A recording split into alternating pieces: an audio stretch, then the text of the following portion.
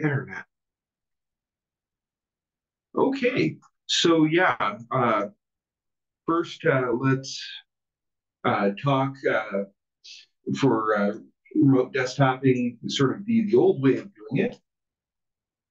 Uh, the, the granddaddy of them all, sort of the Linux way of doing it, was VNC. We'll talk about them in just a little bit. XRDP or remote desktop Windows style. And then, of course, there, there's the good old X tunneled over SSH. Uh, which just brings a, uh, a window across uh, at a time. And uh, that, that, of course, is really laggy, especially if you want to do something hinky like video or very graphically intense sort of things. So, of course, VNC, late 90s, basically it's virtual network computing. And it depending on which flavor of VNC you have, uh, basically shoveling images uh, across as like a motion JPEG or yeah, an MJPEG or various stuff like that. Some of them have smarter algorithms that will only change blocks of data, but it's still very bandwidth and chatty intensive and is not great for performance especially if you're trying to do it over a remote slow line. Uh, you can tunnel it over SSH, and that gets it, the security problems around, but it, historically has been very insecure and uh, not very well uh, protected. So, uh, but it is sort of going on that client server model. Uh, you've got a VNC server that runs on your machine. Uh, for most of the Linuxy sort of things, you'd either have a virtual uh, uh, desktop that would be running uh, just sort of off on the way, or it would be running inside. You'd have GNOME running, and then the uh, VNC server would be running on top of that, or down in your start bar on Windows, or what have you and there's a bunch of them out there real vnc tight vnc tiger vnc blah blah blah VNC take, take your pick. There there's a whole bunch of them most of them are not necessarily being kept up to date and are uh, sort of uh, poorly supported anymore. I, mean they, they're still around but it's sort of like xorg the, the writing's on the wall. You're you're going to get limited amounts of support especially if you want to use wayland uh, so as I was saying, it's very inefficient. Each command has to be sent back and forth individually, which uh, so each time you move your mouse, that little mouse moving across the screen, each time is its own little uh, transactional communication. And yeah, that ends up being latency. VNC, just if you're raw, sending it, chucking it across the internet, you're going to have a bad time. It's very predictable and poorly encrypted, and you're going to get hacked ask me how I know. Uh, when I was uh, a freshman at Iowa State, uh, I, I, happened to have a machine get hacked because I threw VNC on it, and yay, it's exposed to the internet. and yeah, uh, totally got that machine locked out. And yeah, it was bad. I, I got my hand slapped, and uh, uh, then I learned about SSH. So also, there's no audio; it's only images which depending on what you're doing, that's not necessarily a drawback, but uh, there also is no uh, file transfer support or any of those nice to haves where you can like forward your uh, webcam from your uh, local computer out to the uh, uh, remote machine and have the bigger GPU do blurring behind you or stuff like that it was early in the pandemic. I, I was looking for fun things to do to, to make it look like I was sitting in office in the office. So I, I did a green screen effect with the webcam from my my office computer, so it looked like I was sitting in the office.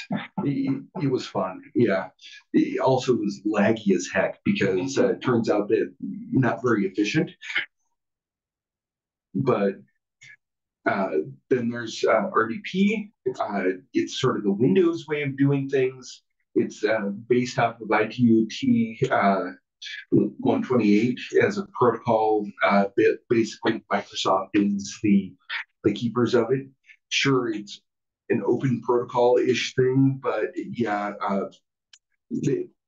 pretty much uh, Microsoft is the keepers of the kingdom because what they they implement is what everyone else has to put up with. So, uh, and it is a lot smarter about sending uh, more uh, sort of primitive shapes and stuff like that, and uh, a lot more intelligent ways of communicating that are less bandwidth and more latency uh, sensitive. Uh, it can send fonts across uh, the wire uh, and then display. It, it's a, a, lot more clever about how it does things, and of course that works a lot better in low bandwidth. Like say uh, really uh, slow remote uh, uh, de desktop over a DSL line that has like 0.5 meg upload. Been there, done that. I don't want to go back. Uh, so yeah, uh, XRDP is uh, what I use uh, at least professionally to, to get into a couple uh, Linux desktops that I don't have enough monitors to uh, play that game and didn't want to go through the trouble of getting a VNC. So yeah, I, have done stuff like that before. it's the open source implementation of RDP and it, will basically run as a desktop, uh, replace headless desktop essentially that you SSH into or well, RDP into, and it's uh, you, you, don't uh, you can uh, not necessarily be logged into the remote computer uh, before you do that, it, and it uh, can or just have the GDM displaying and stuff like that, and it will walk you through logging in and all that stuff. So it, it really is the my my personal preferred way to uh, do that. You can also set up the uh, security certificates, and it's a lot more robust.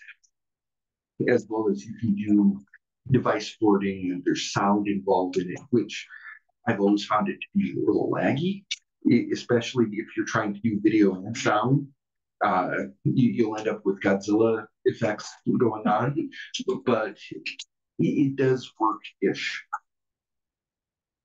And uh, yeah, basically, it still is that client server model, but it's a lot more uh, intelligent about how it encodes things, and he has far better compression. Uh, it's more secure, audio file transfers, etc and uh, it's a lot less vulnerable because it, it, sort of is the, the gold standard that everyone is doing at the moment. Uh, so just a brief conversation about what is Xorg. Uh, it is the old granddaddy. I, I mean, so, so, it started out as X, then, then it forked. Xorg is sort of like the second generation of X remote desktop.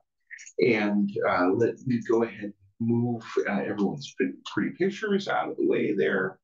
But uh, basically, uh, the big thing to remember is when you're talking about Xorg, uh, if you hear someone talk about servers and uh, clients, and that's total typo, it's not a desktop, it's a client.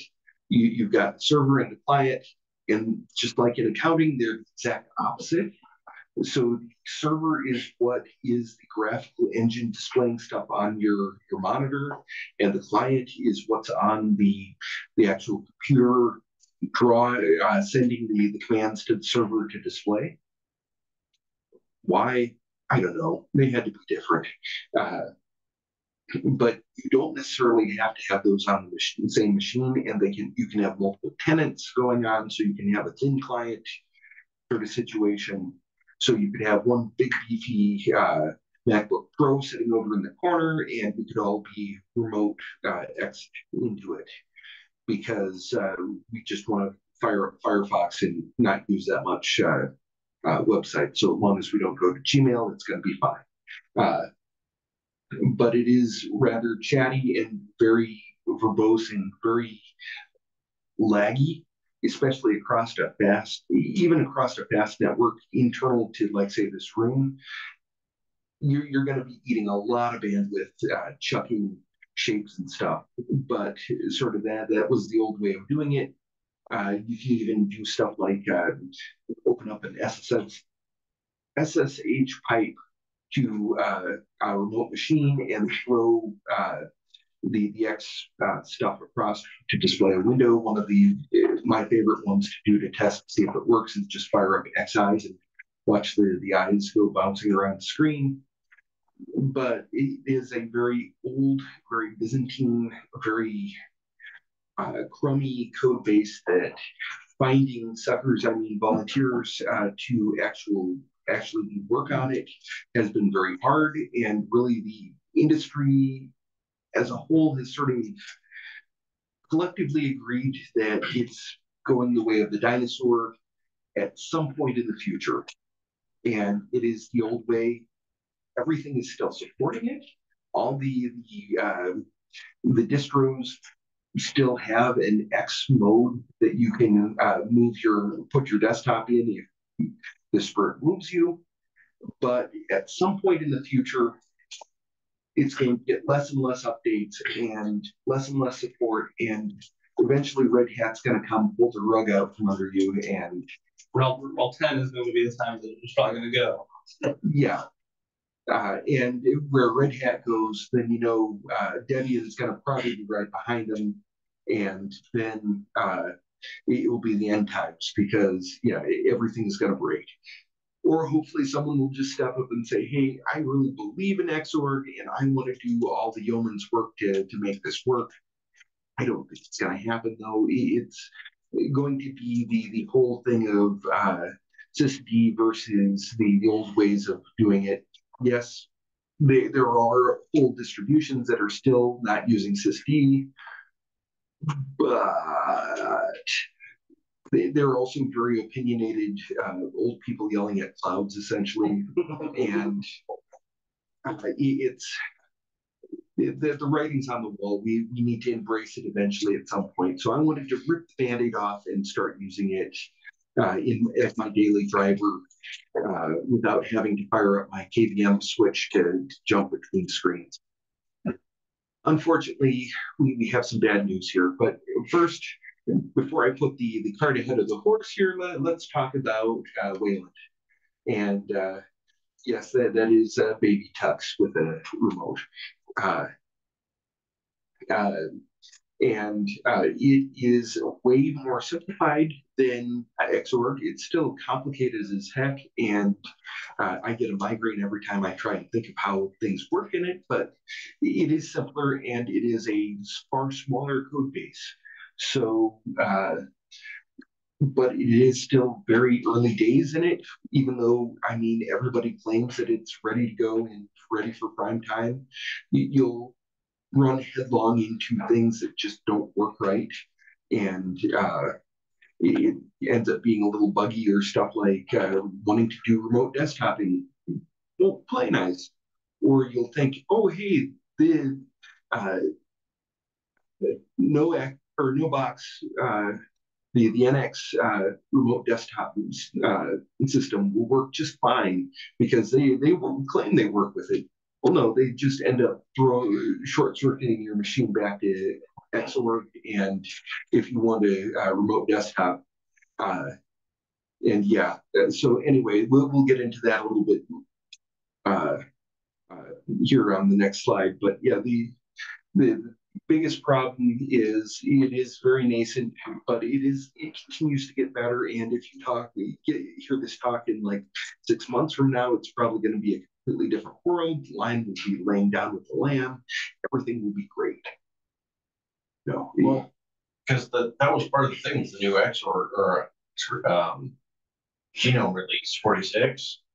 It's supposed to include RDP Yes. And I'm wondering if that's on, I'm wondering if that's on Wayland, so I don't think it's set. So, yes. Uh, so that that was the solution that I did find working is that if you log into KDE and you exit the uh, uh, uh, the, that login screen and you have KDE fired up or GNOME fired up or the reference uh, way uh, uh, Windows Manager running. All of those have implemented RDP. However, if you want to have that, that headless, you don't have a logged in desktop sort of experience. That's supposed to be the new forty-six. Yeah, It's supposed to be. yeah, it, it didn't work for me when I, I tried it in uh, on Ubuntu. Uh, uh, no, Okay. but uh, because since uh, uh, it isn't running yet, yeah. So, so the problem I ran into is since uh, GNOME isn't running yet, when you it has to be actually instantiated and running Right, instead of your GDM. instead of GDM.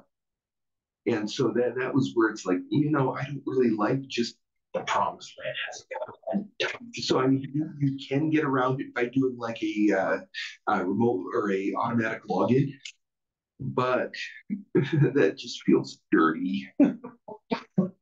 but yeah, we'll, we'll uh, sort of dive dive into that. I did find out that uh, just here uh, it didn't make it into the presentation, but uh, if you're using uh, the WSL2 uh, graphics stuff, it actually is running the the way that that reference implementation of Wayland's desktop manager, and that's what is then being remote desktop onto your your machine. So when you want to uh, run a window and bring it into that, that's all it's doing is that it fires up inside of that that Mariner uh, uh, instance, it, it fires up that uh, graphical desktop manager just as a uh, login, and that's what's piping over from your uh, actual VM that's running your uh, WSL2. Uh, so it pipes it through to a uh, Windows Manager uh, image that then brings it uh, into your uh, local. Interesting. So yeah, it, it's a purple hat, but here we are. Uh, so we'll, we'll dive into uh, how, how to do the. Uh, essentially, the problem is, as I was talking about, KDE, GNOME. You're reliant on your Windows Manager to actually implement the remote desktop screen sharing sort of stuff. And there is no like one solution that rules them all right now, which is disappointing. So I figured, hey, you know, the, the old uh, NX no machine solution, uh, I, I fired it up. It- sure, it's it's not free, but it is for non-commercial use, free as in beer. Uh, and it does allow for a RDP-like uh, experience. You, you can uh, log in, uh, do all sorts of stuff, and it, it's actually more uh, latency and bandwidth efficient than even uh, RDP. It's great, it's cool, it's expensive as heck if you want to use it commercially, but uh, it is a viable option, and it was great. They even claim that it works with Wayland. When I went back and looked at it, I think they're talking about that you can use the client to uh, log into other desktops. And uh, if you go to install it on your machine and want to enable it, basically all it does is forces your uh, desktop manager back over to X. And yeah, so that, that was fun. We'll, we'll dive into how to fix that in, in a minute here because uh, that, that was actually one of the things that really, really annoyed me last night. Uh, so if you do find that you've been forced into X and you want to get back to Wayland, uh, from your uh, shell, basically just type that command XDG uh, session type uh, as an echo. It will tell you what it is. If it says xorg, well, so somebody has been uh, putting peanut butter in your jelly. and then what you need to do is you need to go over to EDC GDM3 uh, custom.conf. And uh, then you need to do a systemctl, restart GDM3, I think that's the person next door. Yeah. I heard it too. I was like, what? Oh, they're using the paper cutter. Ah. Ah. Anyway, though, so at that point, you're, you're and uh, there's, uh, you know, one thing that uh, it's like use uh, Wayland false, you change that to true, and reboot things, and you're good to go. But darn it, I will note that running Return to pretty well, will- you, you, all your windows will be gone, like that. Yes, yeah, yes, to be clear, that, that restarts the world. You you did, you're you're one step from just hard for rebooting your. Yeah. Machine. Also, fun. I wanted to be honorary and do it over SSH. Apparently, it will echo TTY.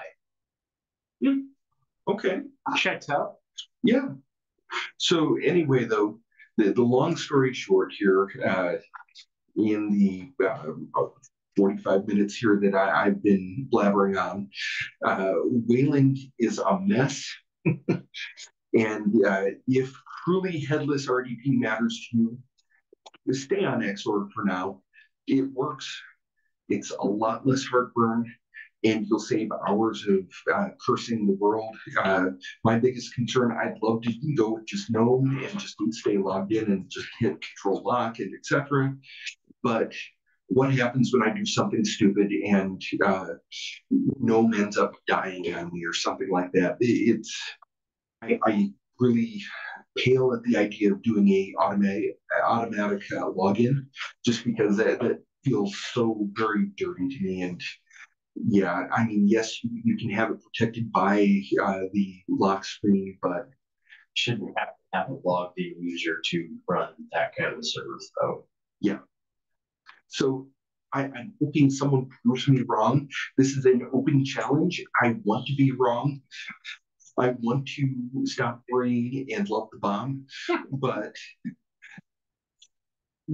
this is why we can't have nice things.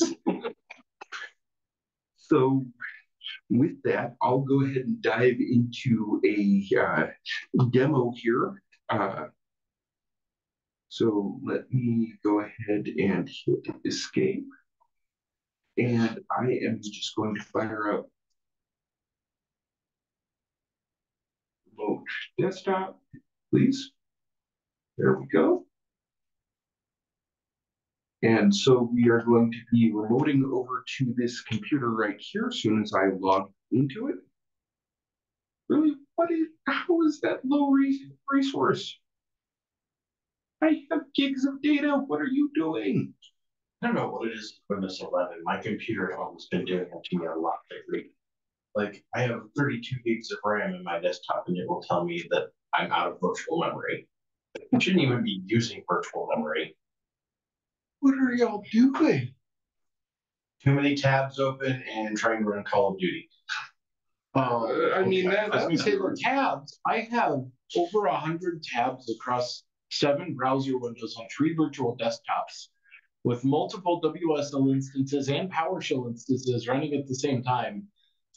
And I don't have errors. Now I sit at 90% RAM use all the time. But okay. Why? Why Yes, doesn't it let me Fingers crossed. bring this over onto the screen? I can't escape my mouse over to the other window. Why are you doing this to me? Uh, if you're on the, the device.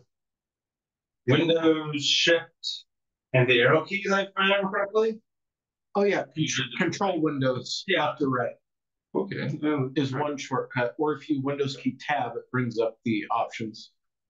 I don't remember, there, There we go. Cool. Learn things that I didn't know. Awesome. there's shortcuts, I think, also work on GNOME as well. almost. So the on at least Ubuntu's GNOME, it's a double tap instead of Windows key tab. It's tap tap on Windows key. At least And like then, vanilla GNOME, at least I'm not around you, so you can see the same. So, okay, and then the switch, it's Control Alt instead of Control Windows. But yeah, Yeah, so what I'm doing is right now grabbing what is my IP address uh, so that I can, because I don't know that I trust. Uh, okay. So, Now we find out if they have network segmentation. yes, Oh, I'm almost, almost certainly they don't. Also, I'm pretty sure they have a very undersized DHCP bubble as well. That's true. I think that- Oh, it's a slash twenty two. Oh, it's not twenty-two, okay.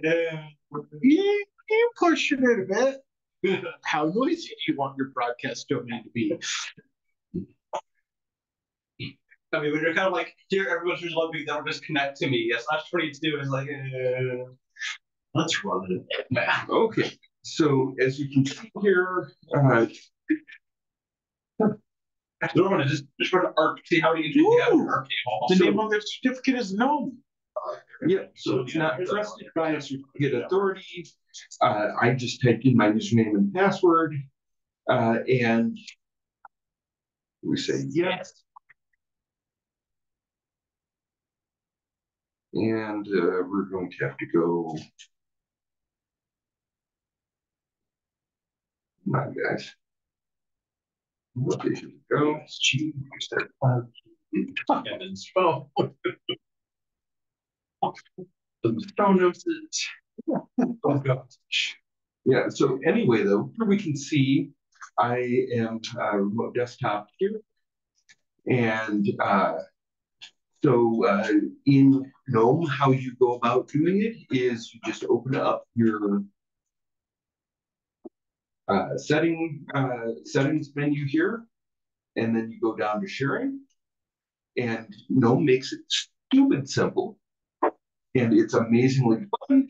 You go to remote desktop, and then uh, you just click this little selector over. And uh, the other uh, big gotcha is that the uh, password will actually be just a random set of characters. And so you're going to want to uh, uh, change the either memorize those random characters, or if you hit the uh, pencil there, you can type in your own password. That's what I ended up doing. So if I were to click that, you'd see my password, or if I were to click the, the little I, uh, it would make it visible. I'm not going to do that because I don't like you guys that much. And then, of course, if you're wanting to verify that your search that it just prompted us about is right, it will give you the Nice. fingerprint. And so, near as I can tell, it randomly creates that uh, at machine creation and stuff like that. So it's you, you can't just grab the GNOME certificate and just It's a self-signed. Yeah. server. yeah, it's a self-signed cert, cert so it's safe-ish. Uh, but yeah, so that, that is uh, remote desktoping, and I mean, a- as you can see, it uh, actually does a okayish job of Feels so remote. It's so amazing though. Yeah, so I mean, if, and then of course, the the great thing is that I, I can actually, uh, use the, the, uh, computer here, and if we were to go to like, say, Oh, the infinite video. and go to YouTube, You could rickroll us. You wouldn't remember it because your watch history is off.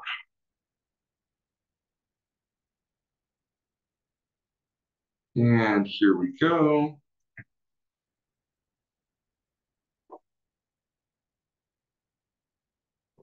And of course, real fun, Advertisements first. yes, Make her make it itself. Yep. okay, so anyway, though, in theory. What? Come on, guys. Just the new Rick roll. Oh, there goes the head skip button. There it is. Go. So yeah, we wanted to bring up our volume because it's.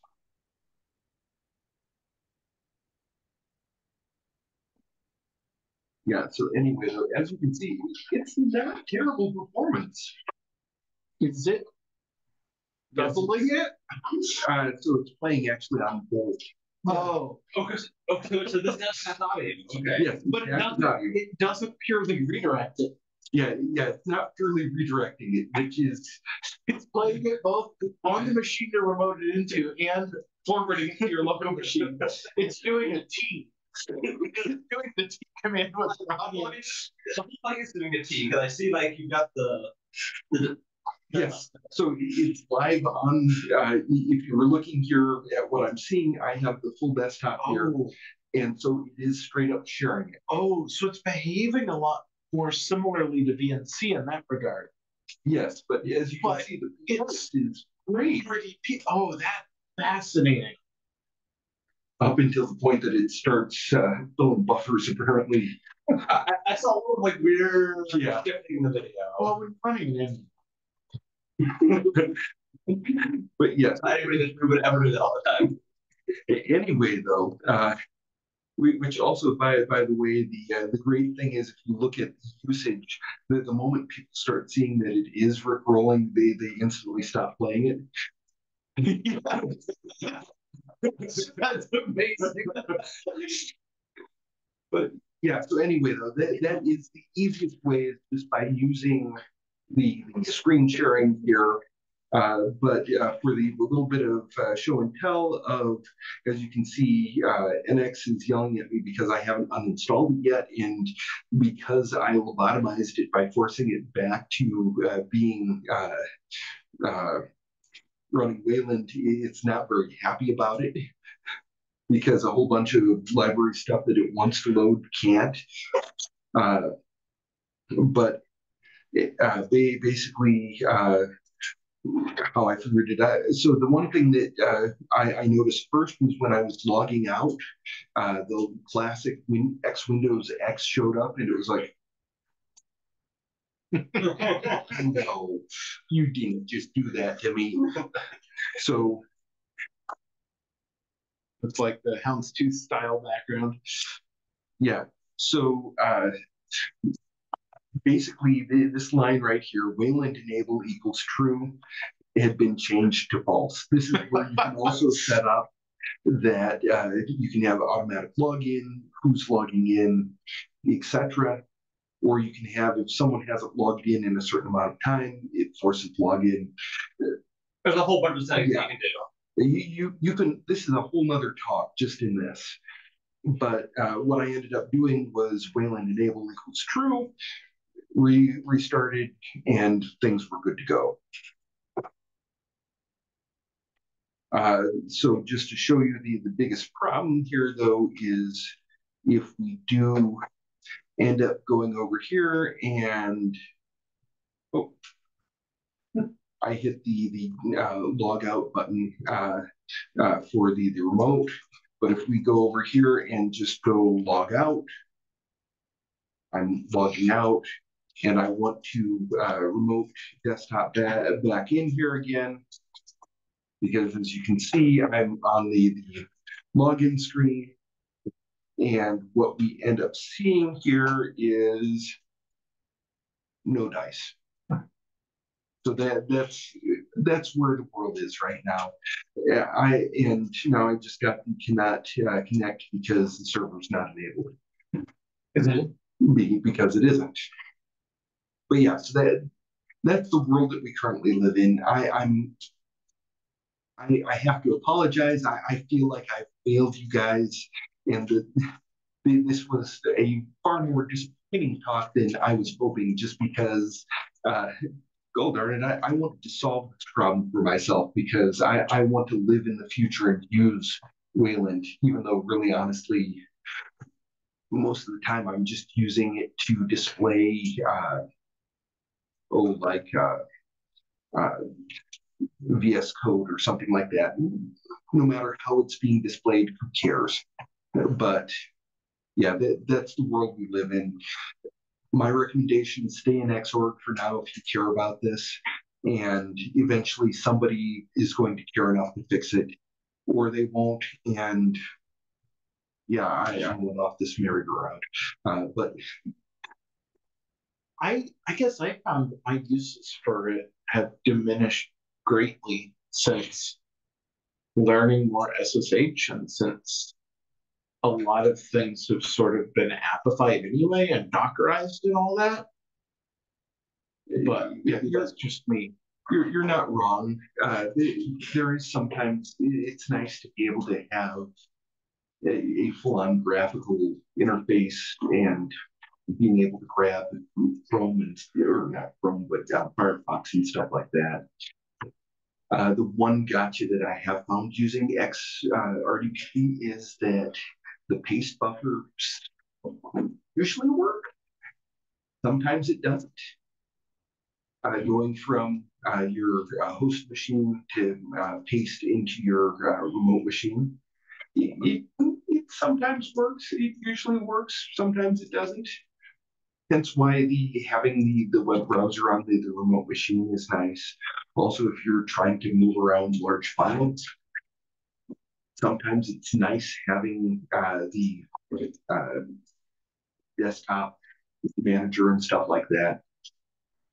But also, I, I tend to be working on like two or three projects at once. So having multiple different VS codes open is not necessarily a terrible thing, even though that, that's sort of one of those I, I probably should be better about that. But here we are. I should also close out my uh, Chrome tabs every once in a while, but that, that's the world we live in. So yeah, anyway though, uh, hey Ergen, how's it going? Going well, thank you very much. I just wanted to add that, uh, you know, what I kind of like came across when experimenting with Wayland was like if you are using virtual machines and trying to use the uh, guest agent to Yes. cop copy and paste between the host, like the supervisor, like the hypervisor and the guest machine. I, I didn't have success in Wayland and I had to fall back to uh, Xorg to be able to make that work. Maybe I did something wrong, but uh, that was something that I wanted to kind of like just mention. Yes, that, that has been my experience as well, that it's missing that long-term polish that uh, has been added to Xorg, that, that ju- it, things just work more often than not. But yeah, I, I think it, it's already gotten so much better than it was when it first started. But for being something that's being billed as the uh, everything's great, you should use this all the time, and you're a dinosaur if you're using Xorg. Um, it's not quite there yet. And it's not there in the, the weirdest little edge cases. And pretty much their answer for a lot of them are, well, that's an edge case. No one cares about that. I mean, that is Wayland. That's that's how Wayland was designed. Like this, this Wayland design designed philosophy in a nutshell. Is that everything is an edge case. Yeah, and th- that's where it, that that's not a very satisfying answer. Especially since I know I already am an edge case in most ways. So I mean, I mean, even normal edge, even normal things were in edge cases for a long time. Like the way the developers were drag kicking and screaming for a lot of things. Wayland is an edge case. I let's be real. Like everyone's having to fall back to Xorg for all the things. Like Wayland is the edge case. Embrace it, folks. that's feature Yeah. So anyway, though that that that is uh, sort of my my uh, tilting at windmills here and uh, being horribly dissatisfied in how things turned out because I, I figured, you know, it's been a long time since I've played with Wayland. The world must have gotten better. Oh, so now, so you're basically at this stage like I was after the Linux compiler talk. I was like, oh, this is gonna be easy. We'll together, we'll compile it. Like, you know, they've got to have even better documentation now. You guys, the Linux kernel seem to have documentation. Uh, they- unfortunately, a I would expect someone to have documentation. I did find a YouTube video or they mostly succeeded. Yeah, so I mean, I, I, so I, I can sort of say myth is partially busted. I, I successfully RDP'd into a Linux box using Wayland. However, uh, I feel so dirty doing it. I mean, I wonder what. I wonder if you could like somehow virtualize its own hardware and then like PiKVM it.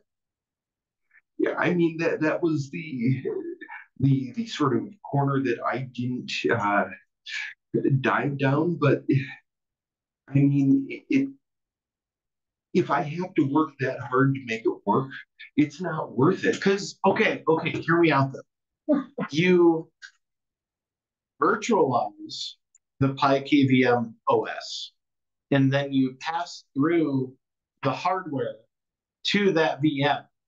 Yeah. When it does remote desktop. I mean, that, that's essentially what. uh, I mean, I would suggest this to several clients, they just ship a PiKVM as opposed to shipping a bunch of like expensive GPU equipment. Oh, I'm not even talking about that. I'm talking about, so get the, the software that PiKVM runs, right? The OS. Load that up into VirtualBox or some other thing that can emulate it. Yeah. and then do the hardware I/O pass through for the video card and the USB inputs, and like remote into remote into the KVM that then talks hardware to the computer you're on, and then you've got remote desktop. yeah. I mean, it's so wrong, but that, that is kind of how uh, uh, WSL2 is doing things. I mean, true.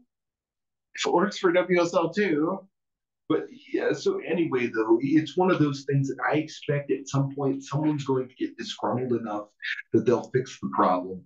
And then I'll happily ride on their coattail. But it's not that big of a problem yet for me that watch it be a different system. Like it would just won't be Wayland, it'll be something else. Applications where I need a full GUI though. yeah, Because like VS Code, all SSH, like, you know, you know, pull back, pull back files that I can see that I can browse. I don't. Mhm. It, and there aren't that many graphical user applications that I actually use in Linux. And VPNs have become so easy that I yeah, mean, those network resources that you would need. Yeah, it is far less of a use case than mostly because uh, I'm needing to call out to it from a Windows machine. Yeah, it, but- it gets a little. Well, it feels really weird whenever you've had a technology that's worked for years and years and years and it just disappears. Uh, release of Excel for Linux. Uh, you, so you can do Office uh, Yeah, but 365. like actual Microsoft Excel for Linux. Like an actual like native native L. I haven't There was one at one point, uh, it's years ago. I've been looking, they've said for anything under sixty-five, it's using web interface. Yeah, well, because I mean, e- going forward, eventually, that is going to be the way of the world. Is that even the the uh, desktop apps are really just going to be uh, weird little shadows of their their web interface. It's all using the same code under the that's already the case. Look at Yeah. Teams, look at Slack. Yeah, Outlook, modern yeah, Outlook. modern Outlook's done the exact same way. Also, pro tip: don't put the allow Microsoft to won't send your IMAP threads off to the uh the cloud because that's what you want nowadays. Google's already reading my mail. Why not? I'm not. I don't use Google. I don't need to Microsoft. Yeah. Anyway, though, uh, we we've gone gone way past the the actual uh, talk, so I'll hit stop here. You got chats. Stop recording.